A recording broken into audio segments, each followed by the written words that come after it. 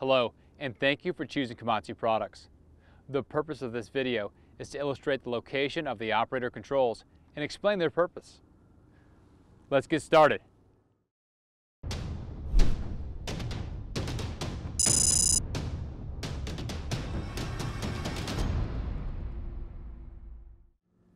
Always perform a walk-around inspection before mounting any piece of machinery.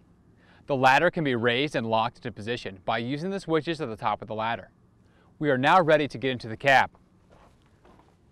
Always use three points of contact when mounting the machine.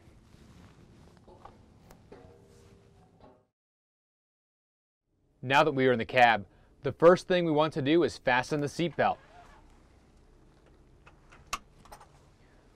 Once the seat belt is fastened, we can become familiar with the operator controls. To the right of the touch panel is the machine key. The machine key can be turned to multiple positions. Turning the key to the on position allows the operator to confirm functionality of several important controls. The emergency stop switch is located to the rear of the left armrest. With the key in the on position, the monitor will indicate the status of this switch. The engine shutdown secondary switch is located to the right side of the machine monitor. With the key in the on position, the monitor will indicate the status of this switch. This machine uses two lock levers that control machine operation. On the right side is the work equipment lock lever. On the left side is the travel lock lever.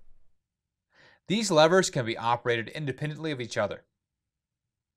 With these lock levers are in the up position, the machine can travel and the work equipment can move.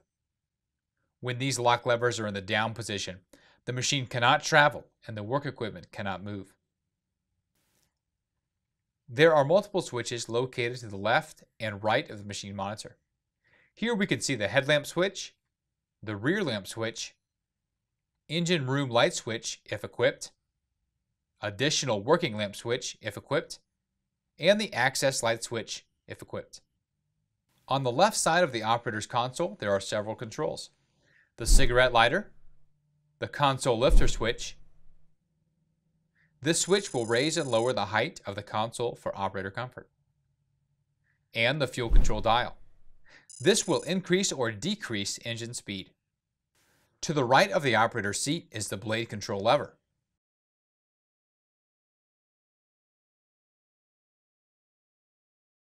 The operator can use this lever to engage blade float by holding the blade float switch and moving the lever to the lower stroke end. The operator can also pitch the blade by using the pitch switch. To the rear of the blade control lever is the ripper control lever. This lever allows the ripper to be raised, lowered, or held in position.